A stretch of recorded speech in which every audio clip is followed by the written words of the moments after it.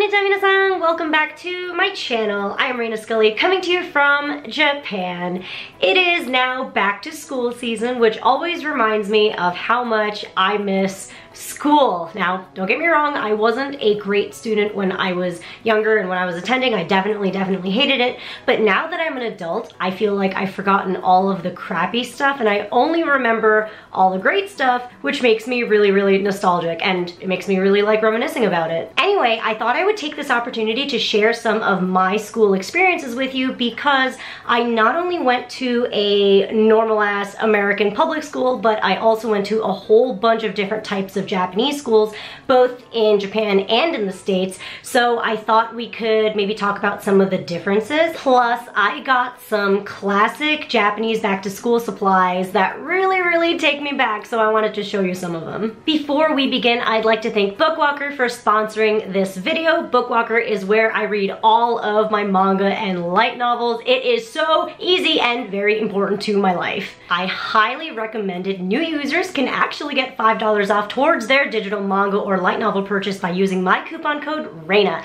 Please click the link in my description below to get more details. So most of you know I grew up in New Jersey. My parents and I came over to the States when I was three years old and we came because of my father's job at the time. So we weren't certain if and when I would return back to Japan or whether I would just stay in the US forever. So with that uncertainty, my parents wanted to make sure that my Japanese education was continuing concurrently with my American education, which means I went to a bunch of different Japanese schools. So the first type of Japanese school I went to is called Hoshuko, which is a Japanese weekend school, and you basically go through a full day of Japanese school on Saturday. Our curriculum consisted of Kokugo, which is language arts, and kanji, which is obviously a component of kokugo.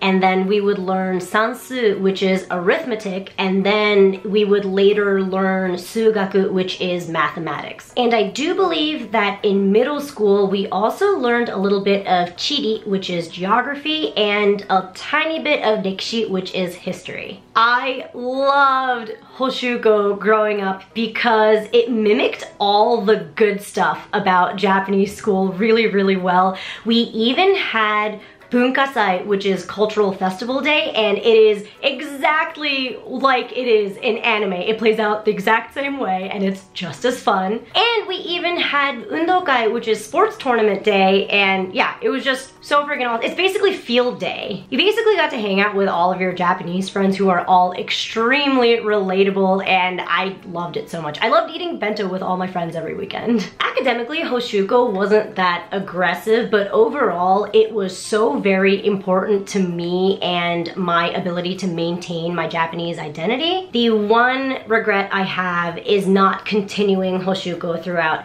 high school. I quit right after I graduated middle school because it was already then decided that I was gonna stay in the States and that I was gonna go for an American university. So I shifted all of my educational focus into my American and English studies.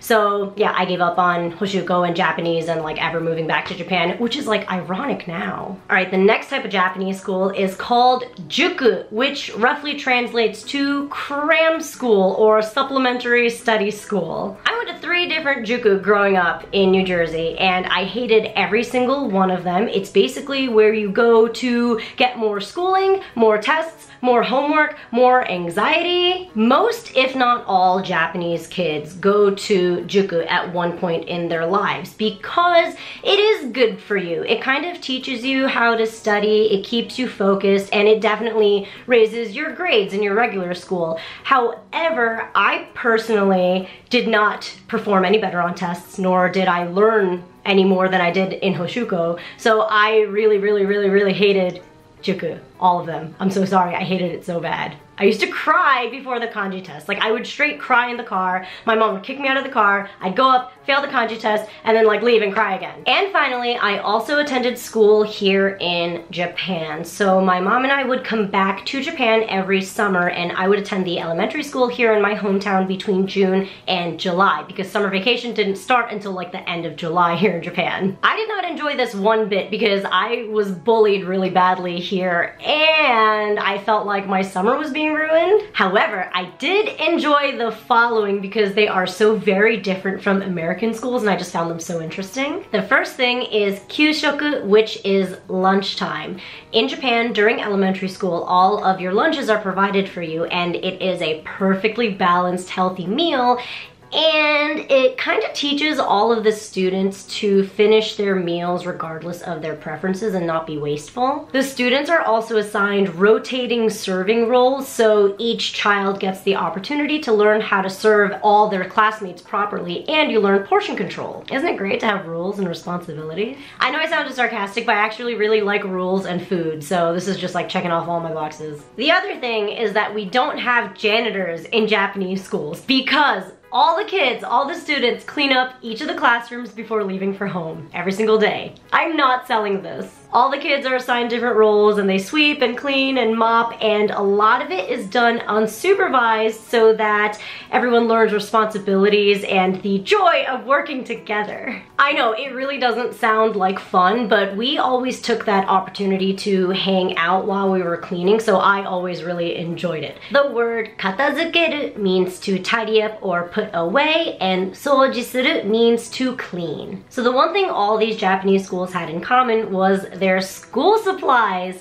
Stationery and writing utensils are kind of an art form here in Japan. You can go to any bookstore or any specialty store like Loft or Tokyo Hands and the sheer amount and variety of pens alone will mesmerize you. So as you can imagine, back to school shopping here in Japan is extremely intense. Therefore, I collected the most classic and nostalgic back to school supplies that I remember using to show you. Anyone who went to Japanese school remembers these Japonica notebooks. This is where you practice your kanji and write all your notes. Every grade has a different specification for grid size or otherwise known as masu. So this one, the masu is huge and it also has kokugo in hiragana which kind of tells me that this is for younger grades. And then there's this one where kokugo is in kanji and the masu actually lose the horizontal lines and they're all just straight vertical lines. So this tells me it's for an older grade. And this is what the specific kanji practice book looks like where you can actually place your furigana right next to it.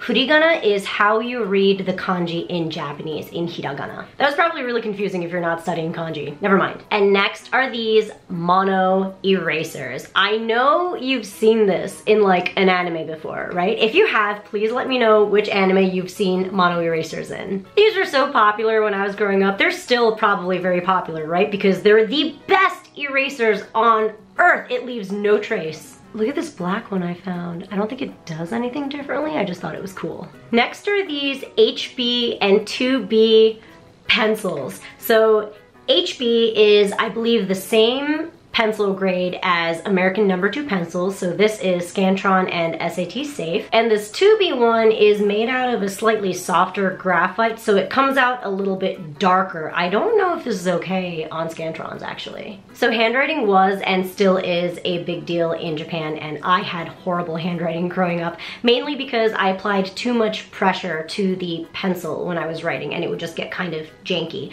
So I would practice my handwriting using a lot of these 2B pencils in an effort to try to improve my handwriting so I could write a little bit softer since this comes out darker without as much pressure. It was hard. And this probably seems really random, but if you'd like a video on how to improve your handwriting in both Japanese and English, please let me know in the comments below. It was a long journey, but I do believe I have some tips and tricks that will help you too. And now the evolved form of pencils mechanical pencils. This is my favorite brand. It's called Dr. Grip. I remember I got my first Dr. Grip in third grade and it was green and it was the best thing ever. So what's cool about these mechanical pencils is you shake it to get the lead out and you can obviously use the top to return the lead back in but this was just a lot easier to get the lead out when you're writing a lot I love this so much. Plus, all other mechanical pencils were really thin, like a pencil, and it didn't really feel right, but this has this like nice squishy grip, and it also taught me how to twirl my pencil, so I'm a true Asian. And that's it for this back to school in Japan video. Thank you so much for watching. Let me know in the comment section below which anime do school supplies like these remind you of the most. Thanks again so much for watching. Please hit the like and subscribe if you haven't already, and I will see you in my next video. Sonjamasta ne!